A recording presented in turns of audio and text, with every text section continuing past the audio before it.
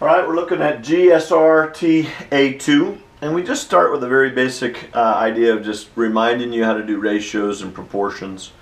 A ratio is just a, basically a comparison between two quantities. It can be between lots of things, uh, miles and time. It could be between uh, centimeters and feet. It can be between, you name it, ohms and amps and whatever you want.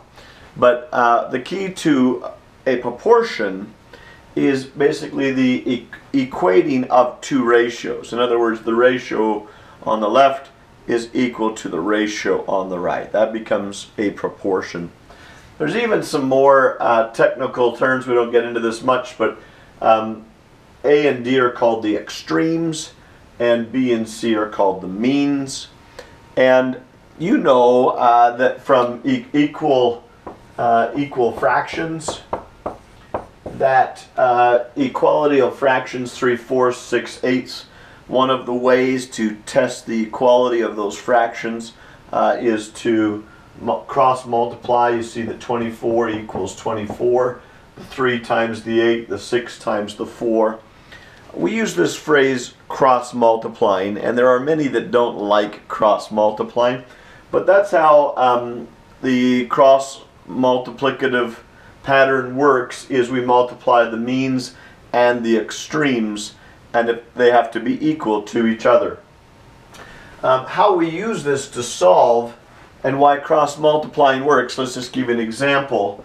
All cross multiplying is doing is it's simplifying um, or quick quickening uh, what we would do in a few steps. So normally if you want to solve this, you would multiply both sides by 8 and this cancels. Notice that the result would be 8 times 3 divided by 4. Now if we did this cross multiplying we would get 4x 4x equals 24 and when we divide both sides by 4 we get 24 divided by 4 it's just the basics of uh, you know doing the opposites, the inverse operations, but it is able to summarize it kind of in a quick and simple way, and it's known as cross multiplication. We use the proportions and cross multiplying quite a bit in in obviously in proportions, dilations with scale factors, and then eventually in similarity. Let's take a look at it. Just to get some background practice on, on the basics of ratios and proportions. Um, we just wanted you to experience some of this. This this is mostly preparatory to the real stuff that you'll use uh, when dealing with similar triangles and solving for sides or pieces or parts of triangles using similarity. We wanted to make sure that you were comfortable with it. A couple things that can happen um, when you deal with ratios. Um, 6 is to 5 is x is to 15, obviously, but you can also say 5 is to 15 as 6 is to x, and I can see that that answer would be 18 right away.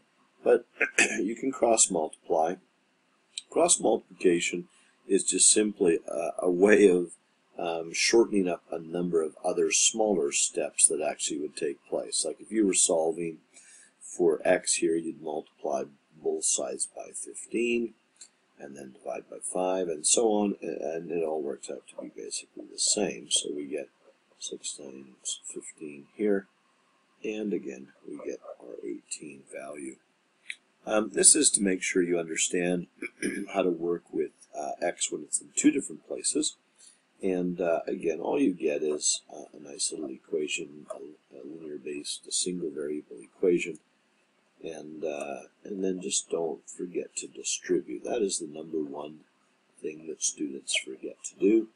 Notice that this 6 turned into a uh, negative 6 turned into negative 36.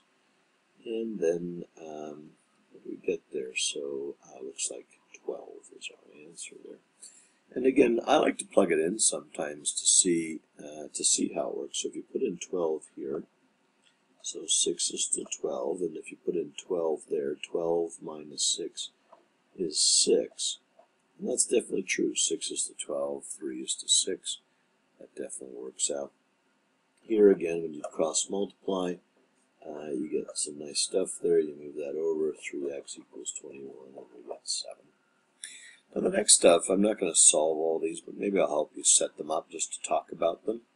Ratios and proportions can often be done many ways, and so don't don't get locked into maybe one way or another way. But says the ratio of boys to girls is four to three.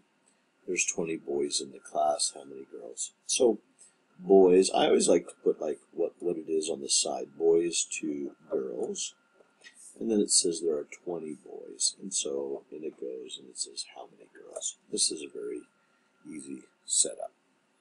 Ratio of boys to girls is 1 to 3. There are 28 students in the class. How many girls are there? Now, one thing I want you to notice here is this is about boys and girls, but this is about a total. So what you could do, we, we want to know about girls, so we might want to go girls to the total in the class. Let me show you how we could do that kind of in a cool way. So physically, we know that there are 28 total, and we're interested in how many girls there are. So now can we use this to kind of set this up? we know that there are, uh, it's a one, two, three. So the three parts are girls, one part is boys. So girls is three, total is four. You see what I just did there? I did kind of a cool little trick because this is about a total here. Um, we are able to talk about, um, you know, three parts is girl, four parts is total. Uh, X is girl, 28. Another way you could do this is this idea of 1 to 3. Uh, so this is uh, here, boys to girls. And over here, you could say that the girls are x, and the boys are 28 minus x. So this also would find a the identical answer, but basically the idea is uh, boys to girls, and boys, how many there are left over out of the 28, and this would also work nicely. There's often more than one way to do it. I like these ones where they say, you know, a triangle has angles in a particular ratio. Now, the way I like to do these, you can do this a couple of ways. You could say, well, 1x plus 2x plus 3x all equals 180. The three angles, this one, that one, and that one, all in the ratio of 1, 2, and 3, have to add up to this. And you get uh, this value, you get 30, and then you can plug it in. So 30, 60, 90, 30, 60, 90. Another way to think about it is that, and it kind of ends up going there anyways, but you can say there are six parts, six parts, and they make up 180 altogether, and then again you get the same answer which we got anyways. This one is using ratios to talk about uh, quadrilateral properties. And when they're written like this, they're written in a particular order, so that means like adjacent ones. So the three the threes are opposite each other the ones are opposite each other. So we've got something where you know we're three times bigger than whatever this is. Um, but they are the opposite sides are equal. Um, so we can at least figure out uh, that we have to be at least um, parallelogram in this environment. Uh, I don't think we know enough to say whether it's a rectangle or otherwise here, but we do know that because the opposite sides are in proportion this way and this way, then we know we're at least in a parallelogram. Just uh, one or two more quick ones here.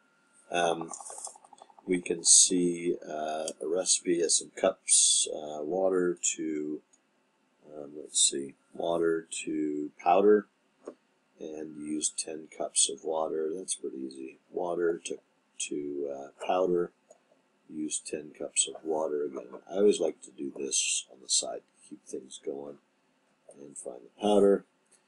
Juniors to freshmen, 45 in the club. Again, here, this is about juniors and freshmen, but the 45 is about total students. So again, you'll create a ratio probably uh, about totals. So how many juniors are there. So I'd probably go juniors to total. So uh, let's see, three parts of the juniors, three parts of the juniors, five parts is the total. 45 students, and I'm interested in juniors. To see how I'm doing that, three parts junior, five parts total. Uh, X is juniors, 45 is total, and so on. Okay? Enjoy. They're, they're fun.